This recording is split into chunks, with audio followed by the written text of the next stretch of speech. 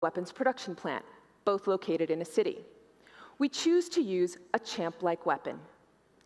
You see a bomber fly in and drops off the cruise missile, which houses that high power microwave system. The missile flies over the city and targets the command and control center, leaving it black, passes the hospital, and engages that weapons production plant.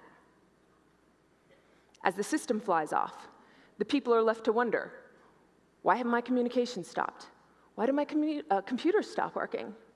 How come I'm not producing my weapons? All of this without leaving a single smoking hole, without harming a single person.